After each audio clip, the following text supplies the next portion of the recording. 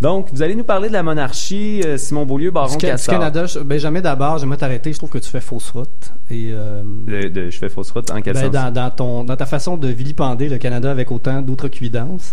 Et, et aujourd'hui, en fait, moi, si le, si, euh, le baron Castor a décidé de, en fait, de faire front commun pour parler du Canada, c'est pour rétablir certains faits et déclarer notre amour du Canada, en fait. Ben, vous, vous me surprenez. euh, je sais pas ce qui s'est passé. C'est- Est-ce que c'est la brosse de, de ce week-end? Que Au contraire, écoute, c'est un, un éclair de lucidité. D'ailleurs, je vais euh, profiter de, de ce temps d'antenne pour faire euh, pour faire un coming out.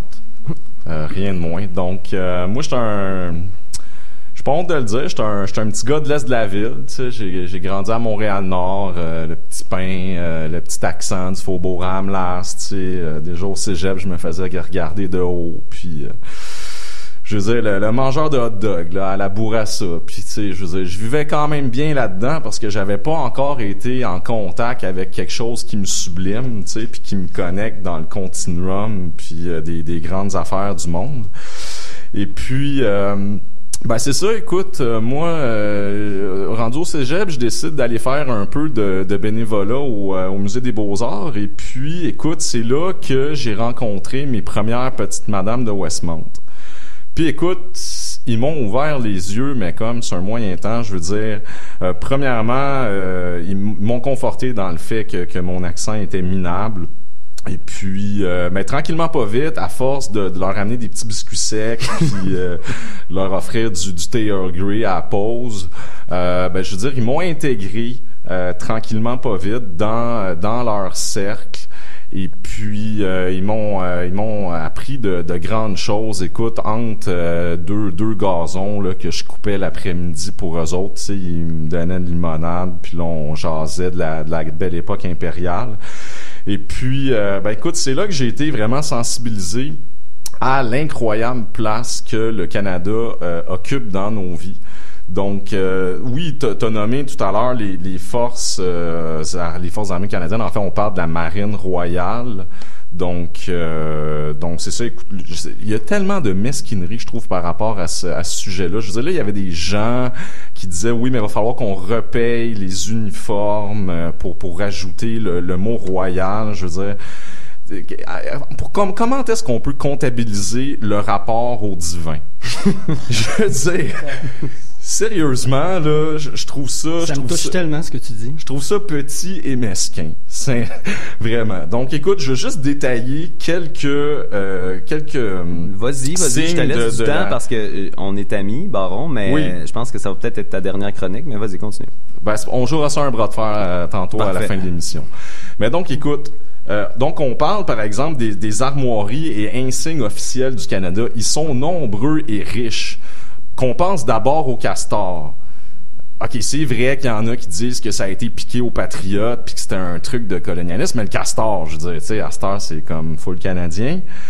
Bon, après ça, on- tu sais, le Haut-Canada, le Haut-Canada, c'est, c'est, c'est, est-ce que moi, je veux dire, le, poil me lève? Chaque fois que j'entends ça? De toute façon, on aura l'occasion d'y revenir tantôt. Bon, c'est vrai qu'il y en a qui disent que Basile Routier a, écrit ça pour la Saint-Jean de 1880. Bon, on parle d'une légère récupération, mais de toute façon, c'est une culture supérieure. Ils peuvent bien faire ce qu'ils veulent. Écoute, si on parle des... des euh, tu sais, comment t'appellerais une commission royale s'il n'y avait pas de reine? Bonne question. Une commission tout court? Je dire, moi, une commission, c'était quand j'allais acheter un pack de cigarettes au dépanneur. Mon père, dans le temps, c'est pas sérieux. Les terres de la couronne. Imagine la terre, les terres de la couronne, pas de couronne. Tu sais, c'est, des terres plates, là. Il y a, pas de point à ça. C'est le petit qualificatif sexy. qui- C'est ça. Écoute, t'as évoqué les, les portraits de la reine, mais je veux dire, entre ça puis du mouchetage compulsif de Riopelle Ben, ou Pellan. C'est quand même des, des peintres très connus là, qui ont une réputation même internationale. Mais moi, je te parle de l'objet, je te parle de la dignité puis de la divinité de l'objet représenté, tu sais. Si on parle d'un paysage moucheté, ça n'a rien à voir avec la, face crevassée d'une madame de 80 ans passée. C'est autrement moins respectable. Écoute, les timbres, tu sais, je veux dire, ça, ça fasse partout. Notre, argent, l'hymne royal, tu sais, le God Save the Queen. Tu sais, qui tu veux sauver s'il n'y a plus de Queen? C'est impensable. Le, le patronage royal et le préfixe royal. Si t'es digne puis que tu fais œuvre de, de loyauté anglo-saxonne, on peut même, écoute, on pourrait devenir les étés généraux royaux si on s'y mettait. Moi, je, proposerais la chose euh, Ça comme sonne ça. bien, ça sonne très bien. Je seconde. Mais mon, mon préféré, c'est porter un toast à la reine. Écoute, ça, c'est tout dans toutes les, les bonnes familles aux, aux événements honorables. Donc, le premier toast, sinon le seul, c'est tout le monde lève son verre et puis on, on boit à la reine. Et puis là, ce que les, les, les madames de Westmont m'ont montré, c'est que les sujets qui sont vraiment dévots, dans un élan de, de- d'enthousiasme, vont rajouter « Et Dieu la bénisse ». Et puis, moi, écoute, pour avoir euh, assisté à des, des tea parties de cet ordre-là, ce que je te dirais, mais là, faut vraiment pas que ça sorte, c'est que euh, il y en a, il y a des madames qui sont à ce moment-là, là, quand tu arrives à ce point-là de la soirée, comme tellement possédées par la, la grâce euh, royale qu'elles se mettent un peu comme à, à convulser par terre, tu sais, à la mode pentecôtiste. C'est ce qu'on appelle, entre elles, ils appellent ça baconiser la reine OK. c'est comme une forme supérieure de de, divina, de, de, de révérence en fait. Mais euh, ça c'est pas codifié malheureusement euh, pour euh, pour les, les hommages à la reine. Donc il y a différents mythes euh, sur la monarchie. Euh, J'ai été sur la Ligue monarchiste du Canada qui nous donne euh, plein plein d'arguments en fait pour déboulonner ce genre de choses là. D'abord on apprend que la royauté est une institution aussi canadienne que le hockey. Parlant de hockey, j'ai nul autre que Wayne Gretzky qui certifie que tout pays est unique et nous y avons grandi avec la famille royale comme une part de notre héritage. Je veux dire, si, si Wayne le dit, franchement, c'est euh, difficile à, contester. Et puis, ben écoute, là, je me, je me perds un peu dans mes notes, mais j'ai des, euh, des citations tellement touchantes de la reine, comme en 78, quand elle nous dit « De plus en plus, je connais notre pays plutôt bien ». Écoute, moi, si tu vois pas là une marque d'amitié comme complètement C'est une, canadienne... c'est une ouverture Non, aussi. je comprends, mais tu sembles même. Est-ce que tu fais des rêves cochons parfois avec Kate euh, Kate, euh, comment elle s'appelait? Winslet? Non. La, la, Je, dirais que je, préfère les membres euh, les membres royaux d'expérience, Non, je viens de me mais, mais on n'ira pas dans les mentales. Oui. Écoute, euh, je sais pas où tu t'en vas avec ça. Ben, je voudrais juste, je voudrais juste terminer en disant que si on n'avait pas la royauté au Canada, regarde, qu'est-ce qui serait arrivé avec Lise Thibault, tu sais?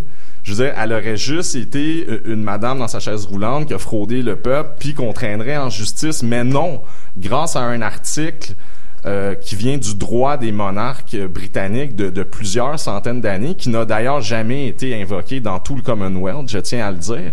Lise Thibault dit euh, que- qu'en fait, comme représentante de la reine, elle se fonde sur le principe que la reine ne saurait faire de mal. Donc, Lise Thibault euh, n'aurait su euh, frauder des fausses factures, gonfler des comptes ou inviter ses amis, payer la note même si elle n'était pas là sur le, dos des contribuables. Je veux dire, la reine ne saurait faire de mal. Donc, sa représentante encore moins. Donc, euh, je veux dire, écoute, si on n'avait pas la monarchie, on n'aurait aucune planche de salut pour euh, pour se déprendre des, des offres euh, de, la, de la judiciarisation des fraudeurs. Donc, euh, écoute, C'est vraiment désolant d'entendre ça. Je pense que je vais être obligé de te couper parce que ton l'ode au sang bleu, ça me fait dresser le, le, le poil euh, sur les bras. Ça, ça, ça m'exaspère un peu. Là. ben écoute, je pense que dans ce cas-là, euh, J'ai je, je sais pas si on, d'expression peut-être, mais je sais pas si on a un, un extrait à passer avant, mais moi je vais, je vais passer le flambeau Non. à Simon qui va peut-être resserrer sur le Canada pour moins te choquer.